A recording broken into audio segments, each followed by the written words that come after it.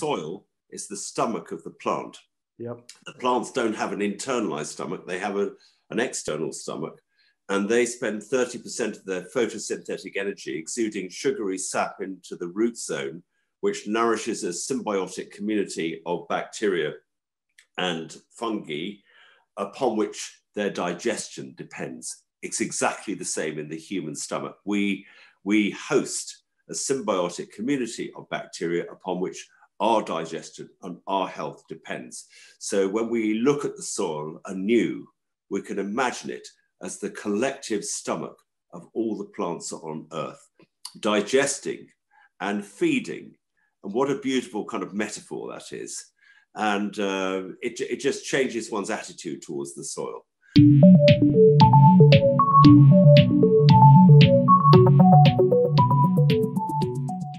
Patrick Holden is my guest on this episode of Inside Ideas, brought to you by 1.5 Media and Innovators Magazine. Patrick is the founding director and chief executive of the Sustainable Food Trust. After studying biodynamic agriculture at Emerson College, he established a mixed community farm in Wales in 1973, producing at various times wheat for flour production, sold locally, carrots, and milk from an 85 cow Ayrshire dairy herd now made into single farm cheddar style cheese. Mm, my favorite. He was the founding chairman of British Organic Farmers in 1982 before joining the Soil Association, where he worked for nearly 20 years, and during which time the organization led the development of organic standards and the market for organic foods. His advocacy for major global transition to more sustainable food systems now entails international travel and regular broadcasts and talks at public events. He is patron of the UK Biodynamic Association and was awarded the CBE for service to organic farming in 2005. Patrick is passionate about the application of nature's principles of harmony to food and farming, which is explored in the Sustainable Food Trust's latest initiative, the Harmony Project. Patrick has spoken to wonderful people all around the world at events in the United States, to His Royal Highness Prince Charles, uh, as well as environmental activist uh, George Monbiot. Patrick, welcome to the show. It's an honor to have you. Well, thank you very much indeed for uh, inviting me. I, I am so glad that you found the time and that you can make it. It's, it's beautiful to have you here. We have a lot in common, a lot of things that we've thought about and been working on a long time. So we're going to have more than enough to speak about this this entire time, and we'll probably get down into some rabbit holes and get into some deeper subjects, and we'll we'll just let it play out however it is because there's a lot of important topics we need to cover today to raise awareness and to uh, move the shift. I want to uh, start first and foremost uh, with a question of how have you weathered this crazy time, this pandemic, uh, Black Lives Matters, the Brexit, and all the crazy things that have kind of really bubbled to the surface this year. Having been doing this for over 40 years, uh, I imagine you've been speaking about, you know, what's coming, how we need to prepare, how we should change, maybe the future of farming and, and what we could do better. Uh, has any of that given you resilience or what can you give us a little journey of what what you've experienced just this year during the pandemic well yes do i start with um, brexit or the pandemic um, uh, brexit was uh, you know an interesting and unfortunate development in our history um, I was not one of those who voted for it. In fact, funnily enough, I was in America when the uh, vote came through. I couldn't believe it was happening. Um, so that's been an ongoing saga, not over yet, as you know. We could talk about that a little bit. Um, it has got one or two silver linings. The only so obvious silver lining I can see is that um, it has resulted in a, a restructuring of agricultural policy in England and the devolved nations, of which, of course, Wales, where I'm speaking to you now from, the farm in Wales, is one. And some of the new proposed policy for agriculture is seriously enlightened. I would describe the, um, the Welsh draft agricultural policy scheme, which has not yet been launched, as being effectively the world's first government scheme to promote regenerative agriculture. So that's, uh, that's, that's something good. Um, as far as the pandemic is concerned, it's disrupted our lives, obviously, as it has everyone else's. Um, it, we, our cheese sales, which is the main product that now we sell from the farm, was going all over the world, still is going all over the world, which is a strange thing to say when we believe in local food, but you know, that's just one of the paradoxes of the situation we find ourselves in. Yeah. Uh, also, quite a lot to restaurants. Um, that all stopped, of course. And then we decided to go for the first time in our 47 year history to once a day milking uh, because we, you know, just thought it would be easier. And we were, you know, this phrase we have furloughing, which means kind of the Chancellor of the Exchequer pays the wages. And we were worried about the income stopping because the cheese making stopped because we couldn't make it work. But anyway, fast forward a year or whatever it is, no, it's, it's nine months, isn't it, since it all yeah. went serious. And cheese sales have picked up again. Uh, we are making cheese. The demand is strong. Uh, I think the farm is fine. The farm is seriously resilient. We have been less resilient, but our spirit is resilient. And so I think we're okay. And uh, we will come through this and build the farming system into the future. And I feel very excited about that, actually. I think that the, the farm, I always like to think, if the food system is an organism, the farm is the cell. And we need to make the cells healthy. And if we have healthy cells, we have a healthy organism. So from the ground up, um, the work that we've been doing on this farm for now nearly 50 years, I think is, um, it affirms my belief in the system that we both believe in because it's one, it's visible here and um, it's exciting. And I think the future is extremely exciting potentially if we can get through these turbulent times and all the rest of it. And as for the Black Lives Matter developments, I mean, that is a massive conversation we could have, but I think there's no doubt about it that there's some sort of karmic uh, inherited anger in the, say, in the African American community, but amongst pe black people and people of color who have been exploited all over the world. I also think there's a kind of inherited sense of guilt that white people have. I mean, I'm not free of this. The United Kingdom is not free of this. We were a country with, where we exploited uh, people all over the world. We were participants in slavery. And my own great grandfather was part of quelling the Indian uprising. So there's a lots of stuff there that I think is still working itself out of, of us, the, the, ones who exploited, and the exploited ones in different ways. And it's a very difficult thing to talk about, but I think it, it needs to be talked about. So if you want to go there, we can go there. But anyway, summary, things are okay. Good. That's so wonderful to hear. I do want to kind of go deeper into two two little subjects that you mentioned, and I, I think they they're cross cutting in, into some respects.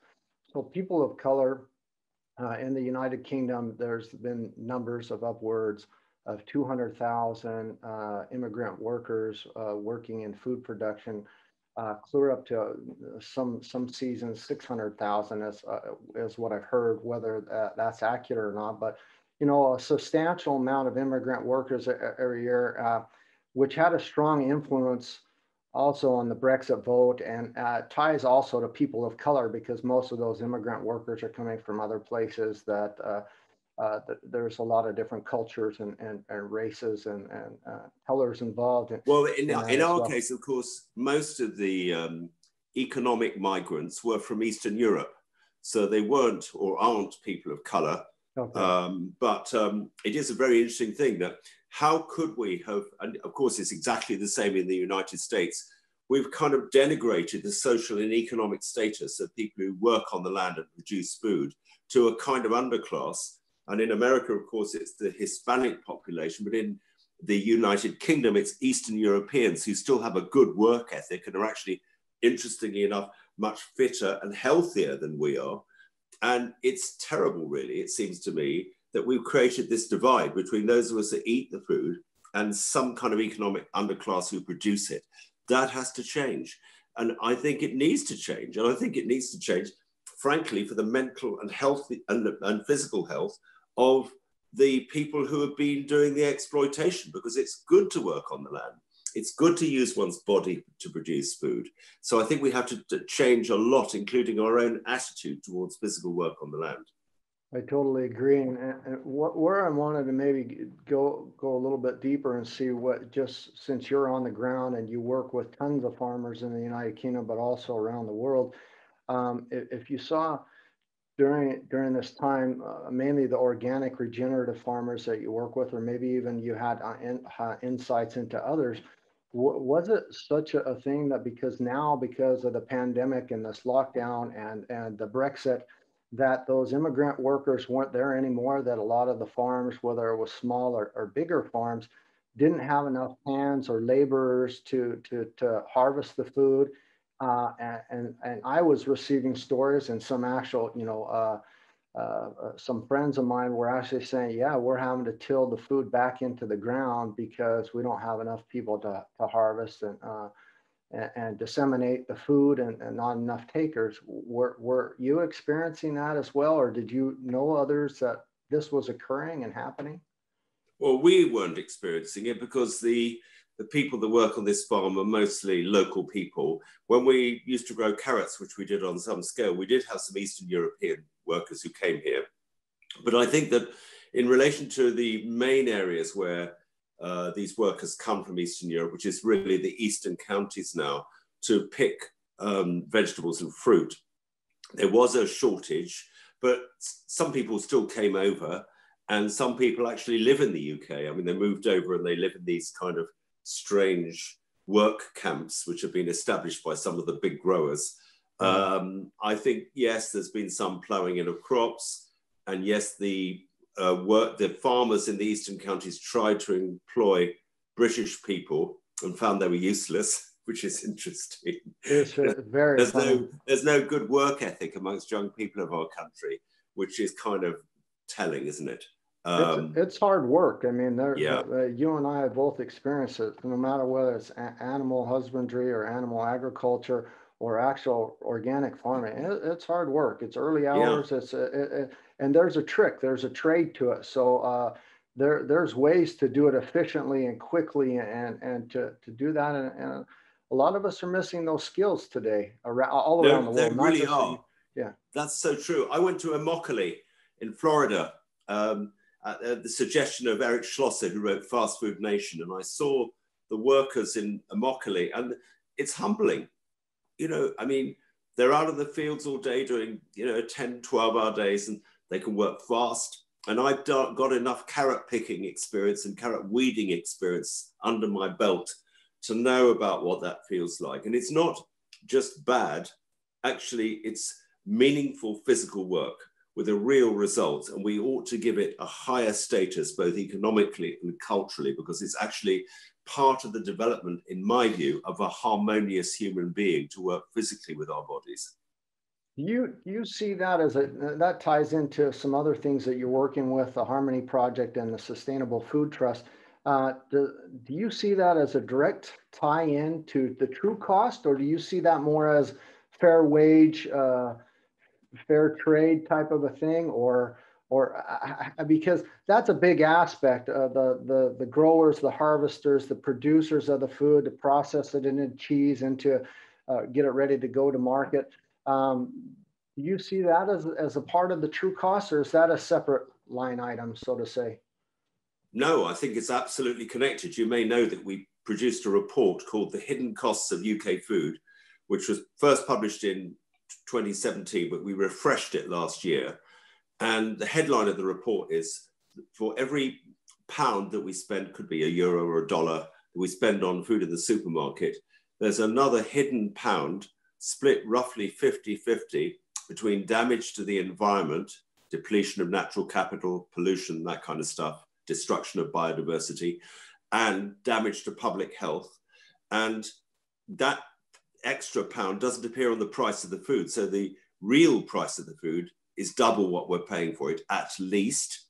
And of course, you're right that part of that hidden cost is the cultural, human externalities which are improperly valued or not valued at all. So we're not just destroying environmental capital. We're not just destroying, um, uh, we're not just polluting and causing climate change. We're not just damaging public wealth.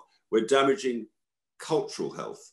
And the, the period of industrial agriculture has been a kind of mining operation, an extractive industry where we've removed people from the land. And that is that should be monetized. We should recognize. I mean, Vandana Shiva, I heard her say the other day in a meeting that it's worth trillions of dollars, the destruction of the smallholder capital, which was represented by the skills of the people, the people themselves, their livelihood, and all that goes with that.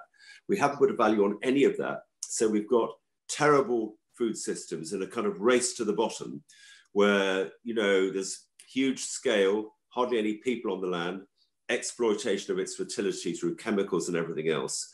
And now surely we, we've reached the bottom with hardly any soil fertility left. And a lot of this is about uncosted externalities of a negative nature, but also unvalued positive externalities. So in order to put things right, we need to make the polluter pay, we need to redirect the subsidies, and we need to put a proper value on all the those aspects of food production system that I've just mentioned. We can do that, and I think there's an appetite to do that now. And if we did do it, things would change dramatically, and they must, because otherwise we're going to have an unlivable planet and an ecological catastrophe because of the destruction of biodiversity.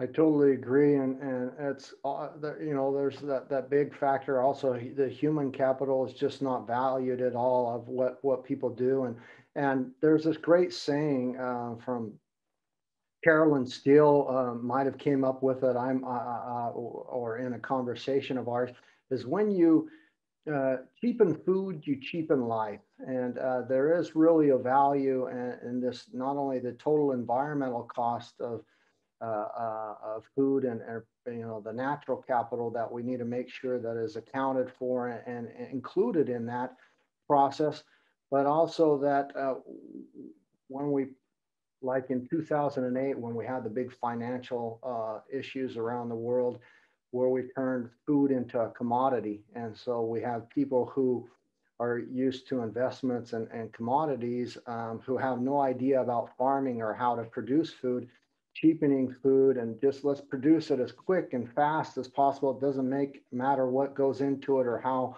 how many chemicals, and, and it's really cheapened food, which is then in turn cheapened life, our health, and many other ripple effects that, that carry over to us all.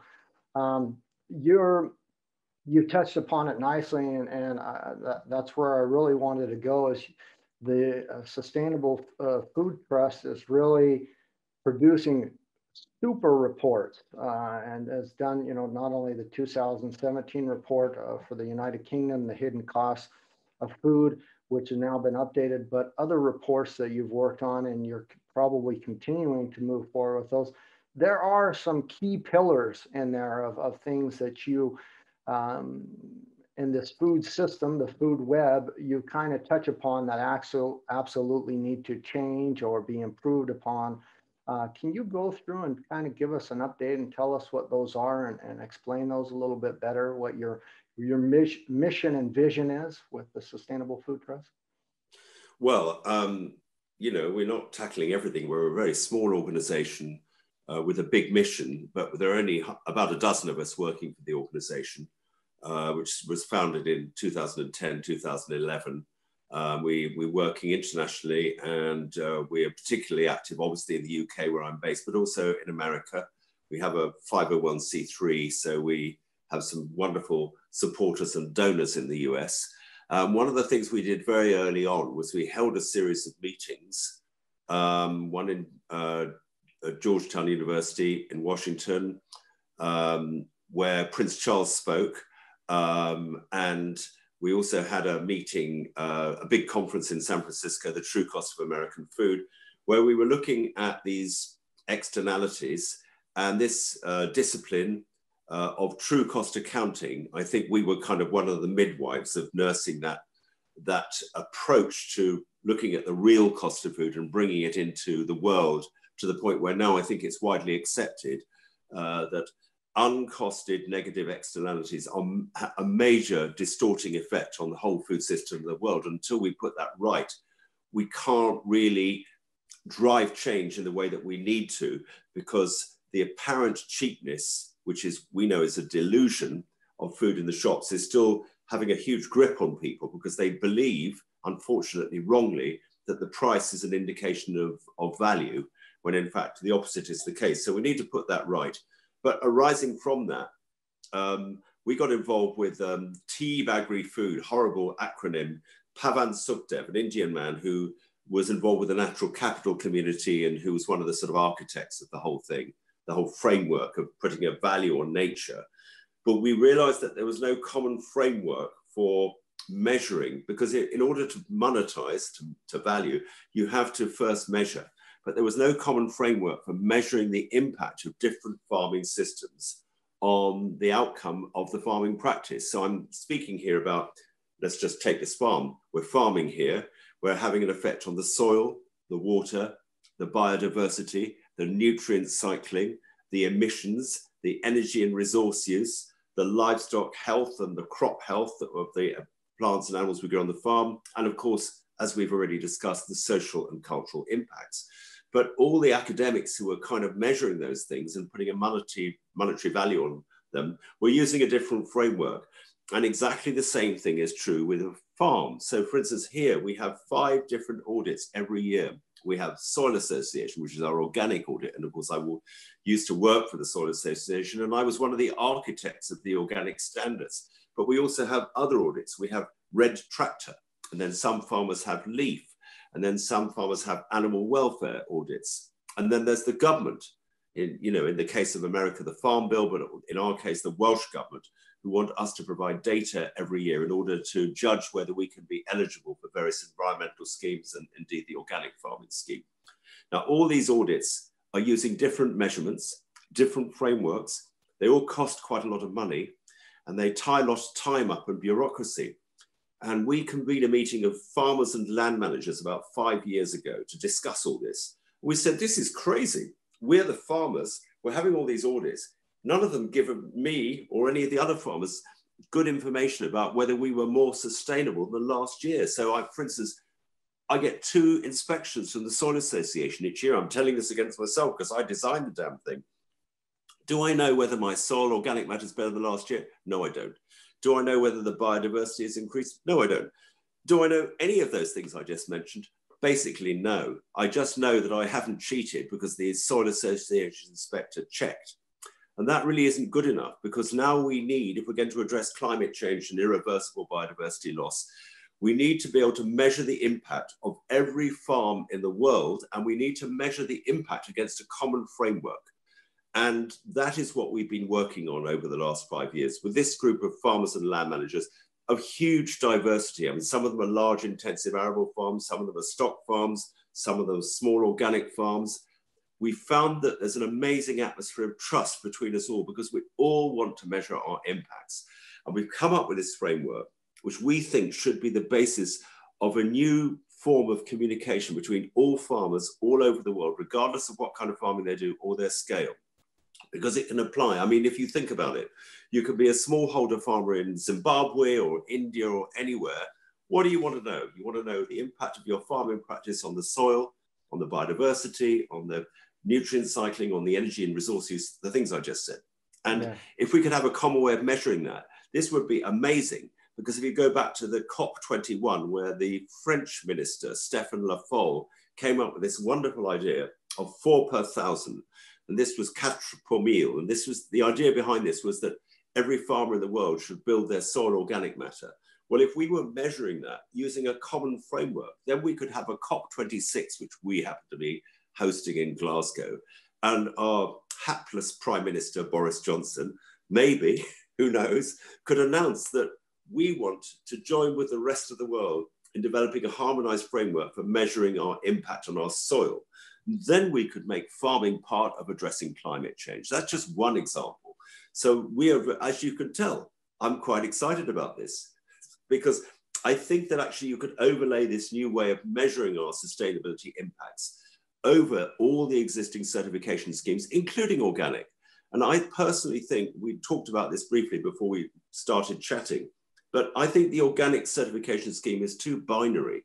You know, the inspector comes here, you are or you are not. Well, it isn't like that, really, is it? You know, no, this is a, st a stairway to heaven. We need to get better every year. Everyone needs to be in now. It's not just about an elite market for rich people. It's about an existential crisis. We all need to be in. And we need to have a sustainability assessment framework which is inclusive, not exclusive. End of rant. Yeah, I mean, I, am totally in line with you, and I agree. It's it's. Uh, I I mentioned in our discussion earlier. I feel that the bar is too low, but you said it so eloquently. It's too binary. It's uh, it's very similar to the Sustainable Development Goals or to other GRI reporting. Basically, what most of us are doing, what most people are doing, is they're waiting till the end of the year and they're seeing how their year's activities fit into the reporting and then they're reporting on it.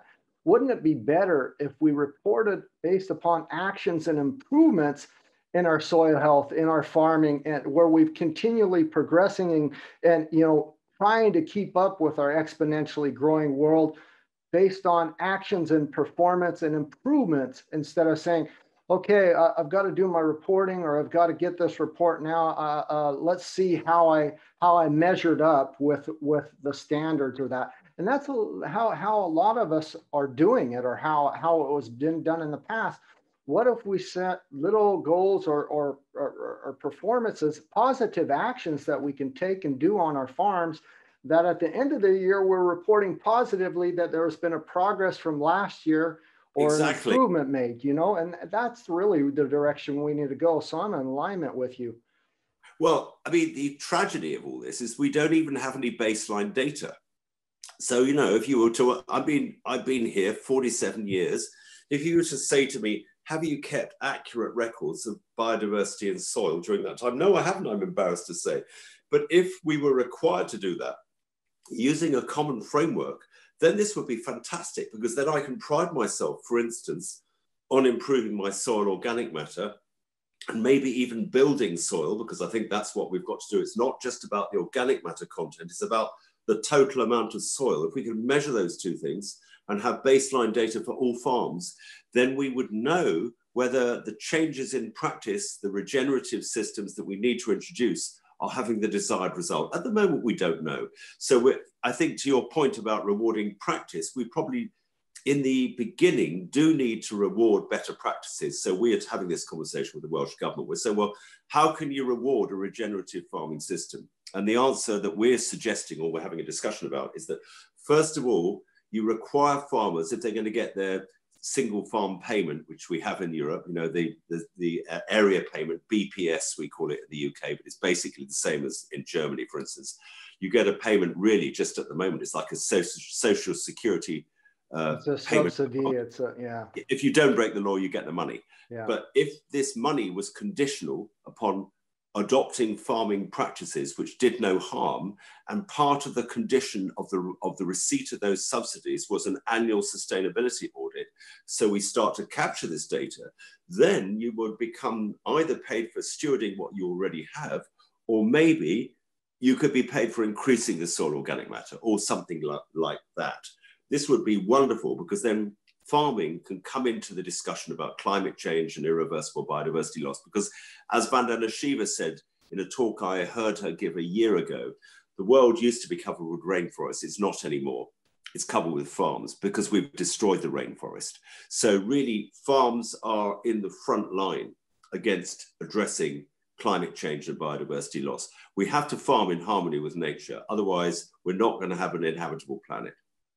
I totally agree. We we used to, um, uh, uh, you know, well, probably the right word is not we used to. The the the minute we started uh, farming and agricultural practices, especially intensive, and since the industrial revolution, we've had the biggest impact on on our environment. We you know tilling and moving rocks and cutting down trees uh, is just releasing carbon in the atmosphere, a lot of nitrogen and chemicals and, and, and issues around farming. And, and, this intensive way of doing it has had a big impact on our environment and our climate. And uh, the United Nations FAO, the Food and Agriculture Organization, in 2015 uh, said we have 60 harvests left uh, uh, with traditional industrial agriculture. And uh, this year, 2020, it's been updated. It's 45 harvests left with industrial agriculture um, methods, um, intensive farming. And we, we need to make a shift. We're, we're eating our finite resources. We're having a major impact on, on our environment. We, we don't understand true cost, total, total environmental cost as percentage of EBITDA if you're looking at it from a business aspect. Um, and, and, we need some substantial changes. Now, you, the, the Sustainable Food Trust is not only educating and doing the reports and, and working with policy and, and governments to try to, to do this, but you've you mentioned it yourself. You're doing things uh, with farmers from all around the world. You've spoken in San Francisco and in the United States and, and, and done some different events.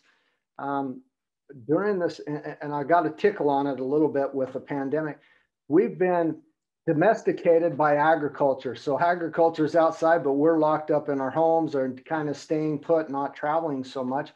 During the pandemic, we're on this lockdown, but things that are global citizens are food, environment, wind, air, so uh, uh, water, and uh, species that cross nations and borders. But we're on this lockdown, and uh, uh, brings me to this question: How do you feel about this view uh, of global citizenry, or that we're all um, crew members on this spaceship Earth? That we cannot really truly be divided by nations, borders, divisions of humanity especially when we, we lock, and I don't want to pick on the United Kingdom at all. Uh, when we lock down a country in, in some regards through a Brexit, through a pandemic lockdown, but yet the amount of food produced outside of the UK and other countries is still pretty substantial, probably four times the size of the United Kingdom.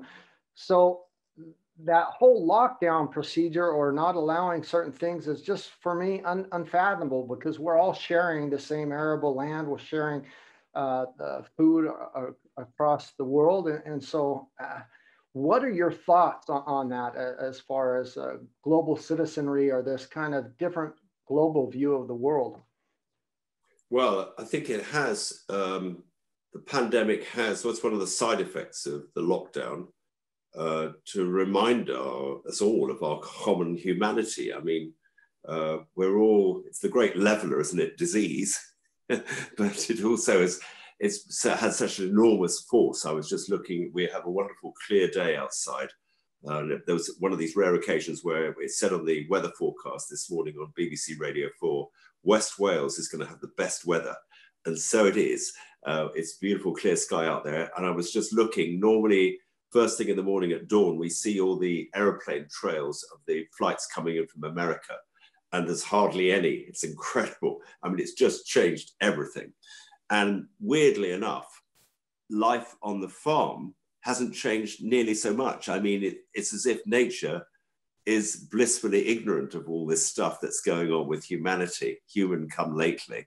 And the farm, the life of the farm just continues. But I think it is a great teacher. Everything's a teacher. And the pandemic is showing us lots of things, our common humanity, as I've said, and also this nonsense about borders. I mean, it's a shame about Brexit. It's happened. We have to face that, you know, when it rains, the pavements are wet, as my teacher once said. But um, even Boris's father, Stanley Johnson, who I interviewed on a podcast, which is on our website, he is a great European, a great proponent of the European project. So it's a bit ironic that his own son, he used to be an MEP, and uh, his own son is just, you know, who knows why he did it. But anyway, here we are. You had Trump, and we've got Boris, yeah, and yeah. whatever. And we just have to work with what is. But I think it's clear that we're all united uh, by our humanity on planet Earth, and we need to work together to make it a habitable place for those that follow us and farming is one of the most important ways we can ch uh, change things. And indeed, if we're just citizens, we all eat, and our eat the act of eating is powerful, as Wendell Berry reminds us. So th this coming um, year was actually the launch of the United Nations uh, Food System Summit. It was because of the pandemic was kind of done all online and next year they're supposed to do that not only in Glasgow but uh, some pre-events about the the UN Sustainable Food Trust. I wanted to know if you're taking part in that as well. So those discussions and, and dialogues on more uh, global level on how we we look at food and farming and and, and things because that's uh, so important.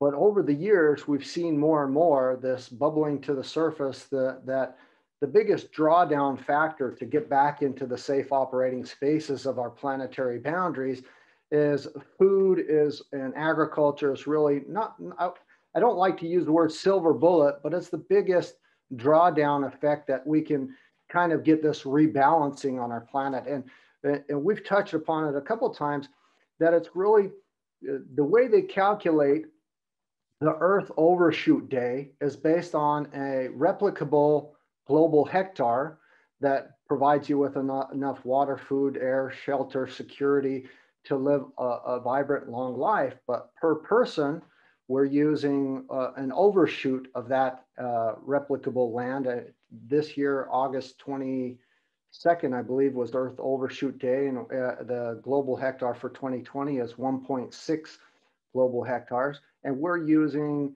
2.89 uh, uh, or 98 global hectares per person. So it's on a resource overshoot and a deficit but it's all calculated through this global hectare or acre. You know, I'm sure there's a way to, to calculate it in acres as well that provide us with the basic needs of humanity so, so that we can live within the planetary boundaries, which goes back to the basics farming, food, how we get our resources.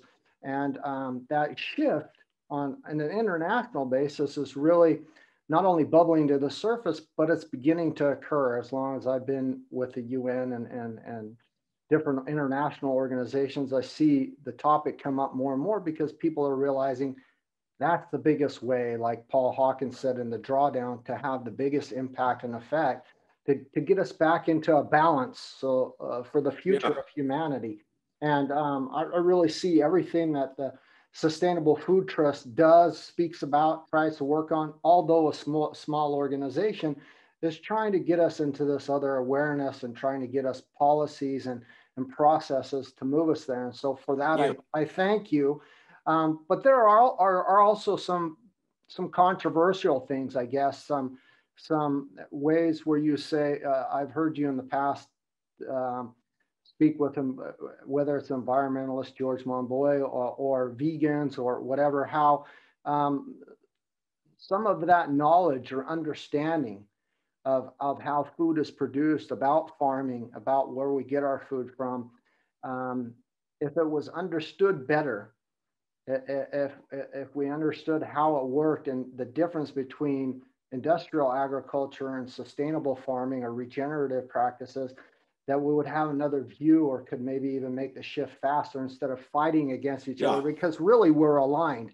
And so I would like to hear more of your comments or thoughts on on these things because that's also a hurdle that we need to tackle and to get everybody on the same page to, exactly. to, to reach this critical mass for even better momentum because both tribes so to say are very powerful in and of itself but we're we're not going in different directions. We're actually kind of aligned. And I think that's what people are missing. I agree. And just to touch on a couple of the points you made at the beginning of what you just said, we're hoping to be at the COP26 and the UN Food Summit next year and to contribute, probably particularly in relation to trying to get an alignment on measuring farm sustainability, because we think that holds a key to addressing climate change and biodiversity loss. So we'll see how we get on with that. Uh, you mentioned Paul Hawken and the Drawdown Project. I'm a fan of Paul's. I think he's a good man. I think it's been said that if we took regenerative farming practices to scale, we might be able to sequester maybe 100 parts per million of CO2 back into the soil, which is the world's second largest carbon sink, only after the oceans. And it's probably the one way where, in relatively short time, we can really draw down significant amounts of CO2 out of the atmosphere. But to your main point, I think that there is a lot of confusion around everybody agrees with the general discussion that I'm sure, I think most people do, that we, we need to change, we need to change our farming and our food systems. But I do believe there's quite a lot of confusion around uh, amongst the general public, but even amongst people who are particularly interested in these issues about what kind of farming systems should replace the ones we've got at the moment, what those farming systems would produce, and therefore what we should eat, because my point or our point is that surely we should eat in proportion to what the farming systems which are regenerative, which we need to replace the ones we've got at the moment, produce. Because in a way, it's very simple. And the way I, this is the way I see farming. We farmers, small or large, the farmers of the world, we are stewards of the small parcel of natural and human capital over which we have temporary know, influence. And what we need to do is to steward that land and produce as much food as we can, which is consistent with maintaining and preferably building that natural and human capital. That's actually the task of all farmers throughout the world. And particularly now we've cut down most of the rainforest, it needs to be a biodiversity reserve, a soil carbon reserve, um, a place of harmony and beauty, but at the same time, we still need to produce food. Now, there have been a series of reports that have come out in the last few years. I'm going to focus on the Eat Lancet report, not because it's the only one, but because it had a massive influence, because, you know, the Lancet and the medical community endorsed it. And, you know, Gunhild Stordalen, who's a friend of mine and a, you know, very influential person in this, the EAT forum, they were all backing this. And of course, Johan Rockström, who is a, I'm a fan of Johan's and his wonderful work on planetary boundaries. But I have to say that I think that the headlines of the Eat Lancet report caused, have caused a great deal of confusion amongst the, the eating public, which is all of us, um, because they came out with this kind of notional diet. They, need, they said, first of all, we need to eat less meat. Well, that's definitely true. And we need to move towards a plant based diet. Well, that probably was always true, and it's still true. But I think they tended to throw the, um, the sustainably managed uh, grass fed ruminant um, baby out with the bathwater of all the livestock products that we need to stop eating, namely the feedlot beef, the industrial hog production, the industrial chicken production, the mega dairy stuff.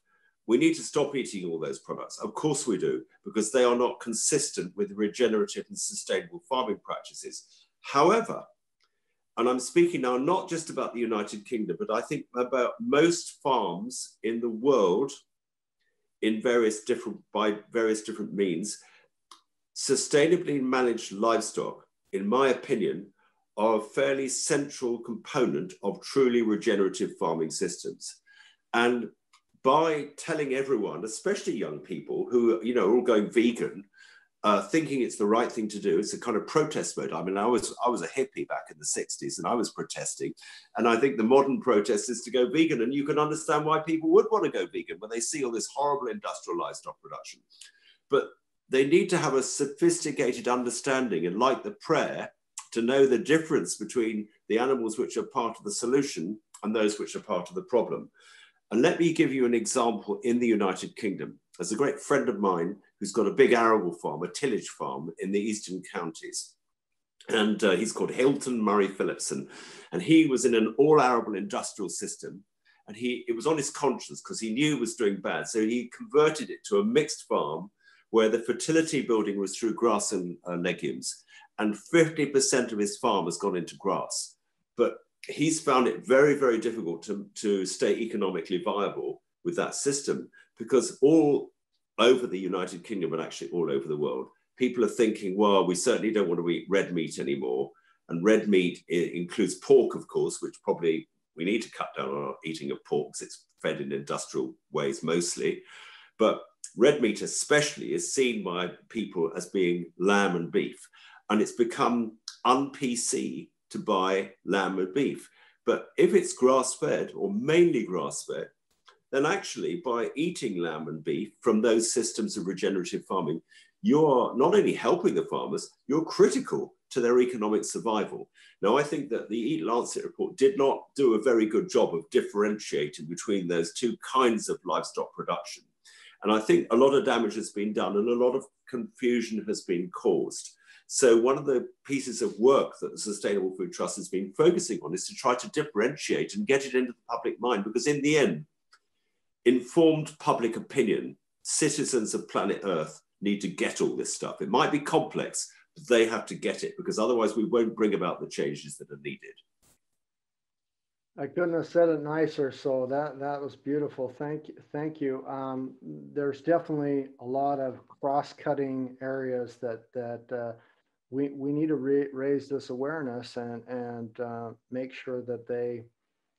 Uh, it's not them and us that that we realize that we're all thinking in the same direction. Our intentions are good, and we we want we want to uh, want to move forward in the right direction. There are a couple other things that came out this year during the pandemic that I wanted to know what your thoughts and feelings and, and if you'd seen them. One was Kiss the Ground. Um, Brilliant and, film. Yeah, a fabulous film about soil health and, and uh, farming and regenerative practices. But also, uh, the Rodale Institute does so many fabulous things uh, uh around regenerative agriculture and has done some long term studies. Um, and the reason I bring it up uh, with your thoughts, there's a lot of farmers, especially in Eastern Europe, uh, uh, also Croatia, Malta, and, and, different places that are still doing uh, chemically intensive industrial agriculture and it's extremely hard to talk to them about organics or regenerative practices and making that switch. And they're like, even you bring it up, they're like, there's no way that's going to work. It's going to be profitable. We can make it. Or, yes, yes. The trouble is that it's not wrong. The problem is, unless we, the, the eaters of planet Earth, support the kind of food production outputs of those regenerative farming systems, then I would say there's hundreds of thousands of farmers all over the world, say in the Corn Belt or in Eastern Europe, in say the Great Plains of Romania, where there's all this wonderful soil, and further east again, and in the eastern counties of England, they're looking at what it would mean to adopt regenerative practices as advocated in Kiss the Ground. And they're saying, come on, you know, if I introduce a big livestock enterprise on my farm to eat the grass from the fertility building uh, phase of the rotation. I don't have any income from the corn or the grain that I would have grown on that land. I've just got the grass. If I turn that into meat or milk, as we are doing here, uh, the market doesn't want that, or it certainly won't pay enough to make it a viable um, uh, operation. So they're not wrong, these farmers. They're saying, well, I can't do this. It's not going to pay well enough. So we really need to think about these issues and make sure that we realign the government policy the polluter pays principle, the redirection of subsidies, as we've already discussed, but also what we eat so that we can support the shift towards regenerative farming. I thought Kiss the Ground was a brilliant film. If you haven't watched it, it's on Netflix, just watch it. I also, there's another, another film just come out called Sacred Cow. If you come across that, that's just about to be launched, I think. That's a, I'm on that. And oh, just briefly, um, and I think these films are great because they're explaining some of these issues to a wider public. And unless we get the public on board, these things are not going to change. Are there are there any advice uh, or tips or help that you could give to farmers currently doing industrial practices who kind of are feeling that they should transition but are, are, are holding to the old system or to holding to industrial system uh, uh some advice to transition or some help ways to get them thinking or looking at it different or tips that they could would make a transition better or even to get them to think about moving in that direction? I think, um, you know, I feel like quoting Bob Dylan here. Uh, you know, the old road is rapidly aging. Get out on the new one if you want to lend a hand, because the times they are changing. I think the times are changing. I think that, you know, David Attenborough, wonderful communicator, he is reminding everyone now that we were in the last chance saloon and farming is currently part of the problem. It could become part of the solution. And I, to those intensive farmers, I'd say have faith, start making the change, try introducing a crop rotation which includes fertility building without chemical fertilizers and pesticides on at least part of your farm to get the hang of it. Because I think the market and policy change will come to support those new actions. I believe there is, will be an emergent market for carbon. You know, I think the investment community are coming behind this. I think banks are changing. I mean, just to give you a couple of examples, we had a meeting with most of the UK supermarkets last week, and they're all interested in adopting this new harmonized framework for measuring sustainability and labeling. Think about that. That's all the UK supermarkets expressing interest in this change. We are also in discussions with one of the major UK banks who are going to trial this farm sustainability assessment because they don't want to loan money to farms who are degenerating their soil. This is, this is big stuff. Yeah. So I think farmers who are thinking about it and worrying about the economics of it, I think start now is the answer because I think things are going to change. I agree. I, I definitely felt the change over the years, and and um, my I, I, come from six generations organic farmers in Germany, and I I've really seen substantial changes uh, over the years, and it's just getting better. I we, we, we need to do more positives and have more wins, more actionable things like we discussed, instead of just doing the bare minimum or reporting, which could be very tedious and boring. Let's let's try to to, to make that progress, to, to include those actions to improve our land and our soils. Um, we could get into probably numerous different things on, on, this, on the importance of soil health, biodiversity, the biome of, of our soils and uh, how that ties to the biome of our body, our good gut health, the, the microbes that are, that are vital in that. Uh, Kiss the Ground is one that really touches well upon that. So I don't know if we need to rehash that but just one handful of, uh, of, of, of, healthy, good soil really has more microbes than there are uh, human beings on planet Earth. Just one handful. And well, to, I think a, a rather yeah. nice turn of phrase is that yeah. the soil is the stomach of the plant. Yep. The plants don't have an internalized stomach; they have a, an external stomach and they spend 30% of their photosynthetic energy exuding sugary sap into the root zone which nourishes a symbiotic community of bacteria and fungi upon which their digestion depends. It's exactly the same in the human stomach. We, we host a symbiotic community of bacteria upon which our digestion and our health depends.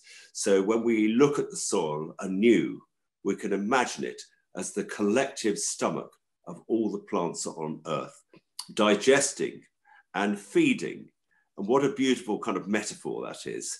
And uh, it, it just changes one's attitude towards the soil. Absolutely. I, I, love that how you i'm glad you you you said that because that's the exact way we need to hear it. Um, i have my hardest question for you today is the burning question wtf and it's not the swear word what we've all been pulling our hair out and yelling this year. Uh, it's what's the future? Well, I think we have to be optimistic. Um, I believe there are certain moments in human history where changes of consciousness happen. I believe that I was part of that, one of those shifts in the 60s, end of the 60s. It was an amazing time. And there was this kind, you couldn't really say where it came from because you could analyze it. You could say, well, the baby boomers after the Second World War, they all had it so good and they could think in a free way. But it was, that was part of it but it was the music, it was something was happening here. Uh, this is another quote from Bob Dylan, and you don't know what it is. Ballad of a Thin Man, uh, Highway 61 revisited. Something is happening now. We don't quite know what it is, but we know there's a consciousness shift going on. So things that would have been inconceivable a few years ago are becoming more possible now. And I do believe that it's important to see this through I think we have to ask ourselves, each of us, every day, what is the higher purpose of my existence on this fragile planet? What am I serving with my life? What, what higher cause should I be serving? There's something important about maintaining this thin film of organic life which surrounds the planet and making it more beautiful and harmonious. And uh, the late environmental campaigner Doug Tompkins had that kind of a view, who I had the great privilege to know. And he said, if something isn't beautiful, it probably won't function properly. So we need to enhance the beauty of the earth. And we need to serve our inner search, whatever, however that manifests, whether it manifests in a faith or some sort of spiritual search. I think this higher purpose of humanity and the collectiveness of our striving to make the earth habitable for our children. This is a spiritual dimension to things, but I think we need to sit in front of that every day. Maybe we should sit in, sit in front of it and be mindful and meditate and just feel the experience of our interconnectedness with nature. And I think if we do that, we will be inspired uh, to undertake right action in our day job and you know in our work in the world because I think the two are connected. And I do feel optimistic because I believe that many people are thinking this way right now. I have three last questions for you, and they're kind of self uh, uh, selfless or selfish questions for my listeners. They're um, takeaways that they could use or apply in their life to help them on the shift or to, to, to see the planet differently, things that you've experienced. If there was one message you could depart to my listeners, a sustainable takeaway that has truly has the power to change their life, uh, what would it be, your message? Well, I've got it's got to be a food message because food's my subject. And I shall quote Wendell Berry again eating is an agricultural act, he said. He is right, was right, is right um, we have power to improve our health and to reverse the decline in biodiversity and build soil health and carbon every day when we eat food. So, because we're the cell in the food system, which is global, uh, cellular health is where we start, microcosm, macrocosm. So, we have the capacity to understand everything and change everything with our own lives, and we can start with what we eat. So, when you uh, next buy food, make sure you know the story behind it. Make sure it comes from a regenerative and sustainable system, preferably not too far from where we live, if that's possible. And uh, if you just do those simple things and eat the food which comes from regenerative farming systems, ideally from farmers you know, then you will be part of the change. I love that. We we both saw each other. I don't know if you remember in 2017, I, I believe it was at uh, or 2000 yeah 17 at the Eat Forum in, in Stockholm, um, and there was a gentleman there, Ron Finley as well. He always says, growing your own food is like printing your own money, and and that's a more modern way of, yeah. of putting what you said. But it's it's so true. There's so much power, resilience, so much security, and and changing that if people really knew that that we've given our stewardship to grow and produce food over to others we, we don't even know where it comes from and it's it's their job and and, and that stewardship uh, was misplaced to give it to them because some of them are doing it just as cheap as possible which is cheapening life and and affecting our human health in many different ways. My next question is um, what have you experienced or learned in your professional journey as a farmer? And and, and you probably want to mention as well that that along with with your farm and Wales you've also had other full-time jobs. You've been doing other things so it's like you, you've you've got a couple paths and jobs that you're working at the same time and uh, it, it's hard work. Um, what have you experienced in this journey that you would have loved to known from the start? Well, I'm not sure. I think what I think um, I did know this at the start in some intuitive way, but I think I can affirm that if you have a, a deep intuitive desire to do something new and maybe slightly disruptive, it's definitely right to do it. You know, I mean, what we did that when we were a community of six people who got back to the land here in 1973 from London, because I grew up in London. I mean, it was a mad thing to do. You know, mean, there was no sense in it. Everybody would have said, well, you certainly shouldn't do that, but we did it anyway. I'm so glad we did uh, because I've learned so much.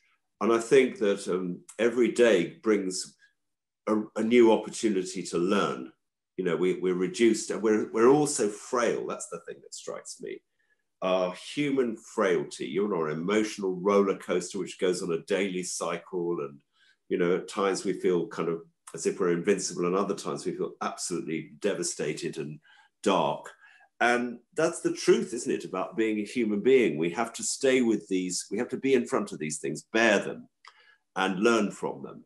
And I think there's so much uh, possibility of uh, doing good work um, not by feeling a victim of difficulty, because it is lawful that uh, the world is going to be difficult at times. The thing that perhaps I should mention in connection with all this is a book written by Prince Charles about more than 10 years ago now called Harmony, A New Way of Looking at Our World. And I know the Prince, and I once said to him, Why did you write this book? And he said, I wrote it entirely from my intuition. And uh, his the Harmony book is basically saying that throughout human history and eternity, everything is governed and um, informed by geometric mathematical laws which express themselves in all things everywhere, whether it's the movement of, of planetary bodies around stars and suns, whether it's the Fibonacci sequence expressing itself in the growth of plants or in the structure of the human ear, um, the geometry and the maths of things, uh, how the ancient civilizations understood this and put those principles into the design of the great Gothic cathedrals, whether you're talking about music, the music of Bach, all these laws and principles are expressed in us and all around us, and we forgot them. And to rediscover or to look at farming through the lens of harmony is my current revelation. I've been farming as best I've known how in a regenerative way, organic way for many years now. But I'm suddenly realizing that this little ecosystem that I'm managing is also informed by these fundamental laws and principles, but I didn't see it. And I think this is a this is a revelation for me. And I'm excited by that because I feel it can inform better action. And by the way, just to say, it's not just about harmony. There's also discord and disruption, as we know, as we see in the world. And somehow we need to embrace the discord and disruptive tendencies which manifest everywhere in cycles and in wars and all the rest of it as part of this striving towards making the world more harmonious. It's not, a, it is a bad, there are bad things that happen, but somehow they're part of a bigger understanding of the world. So that's what I feel is most important for us all, really. I don't think I'm describing something which is particular to some sort of, you know, religion or faith or anything. I think these are more universal laws I'm speaking about. It's, a, it's more interconnection uh, with our world, with our biome, with, with life. And I, I, um, you've already answered my last question, but I, what, what you said so nicely ties to something else I wanted to uh, see if you've heard about it or what your thoughts or feelings were. And that is Lynn Margulis, which uh, was Carl Sagan's first wife, uh, as a, a, famous scientist that uh, she's no longer alive, but she really termed this, uh, coined this term of a symbiotic earth or symbiosis. And this uh, uh, way of realizing that we're in cooperation and collaboration with everything else on our world, not other species, but the microorganisms in our soil, that we are part of this earth and that we're really intertwined. And the Harmony Project, which you just explained, and based upon Prince Charles' book, The Harmony of a New Way of Looking at Our World, and the, the vision and your aims as that project, for me, uh, uh, are just in, in alignment. I'm a big fan of Lynn Margulis and the symbiotic earth and, and, and how she uh, discovered the, the, the uh, mycorrhiza and um, um, the connectedness of our of our soils and, and microorganisms in, in our earth. And, and, and if we realize that uh, no matter what, we crawled out of the primordial soup of this planet. We are part of this earth and those microorganisms in our bodies, we have more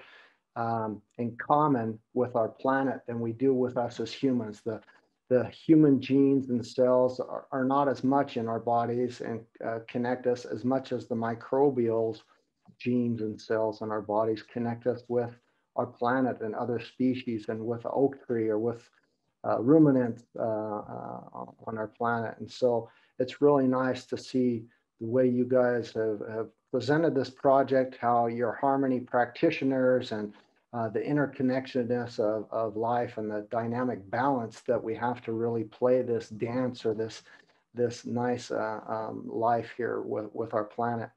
That's all the, the questions I have. If there's anything you did not get to say, I would love to hear it now, or if you have any questions for me personally, but it's been a sheer pleasure, Patrick. I really thank you. Well, uh, just to say on the Harmony Project, there's a man called Richard Dunn, who's a was a head teacher at a primary school, elementary school, uh, who read the book, the Prince's book, and decided he wanted to change uh, the way in which he taught his children without losing his very high educational status. And he is now heading up our Harmony education work. So uh, it's really powerful because he's written a, a, manual for a teacher of an elementary school as how you can embed this new approach to teaching week by week, month by month, without compromising, you know, the ed educational attainment of the children. All that's available on our website. You can go to the Harmony bit of our website. Um, follow us on Sus Food Trust or Instagram. If you want to know more about my farm here, Hafod Cheese, H-A-F-O-D Cheese is our Instagram, or you can visit our Holden Farm Dairy website. It's a wealth of information on the Sustainable Food Trust. But uh, thank you very much for this so wonderful uh, conversation. Uh, I've really enjoyed speaking with you. Thank you so much, Patrick. And I will definitely put in the show notes all your links, all your websites.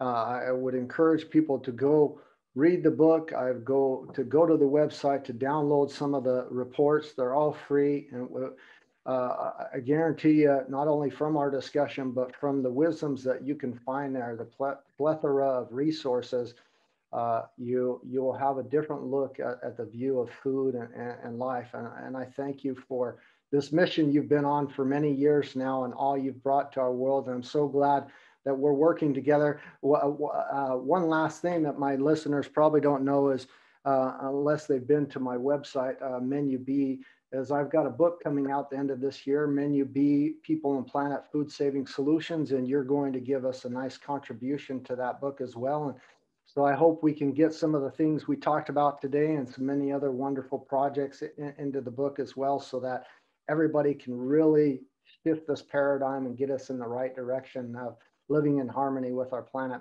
Thank you so much, Patrick. It's been a pleasure. Thank you.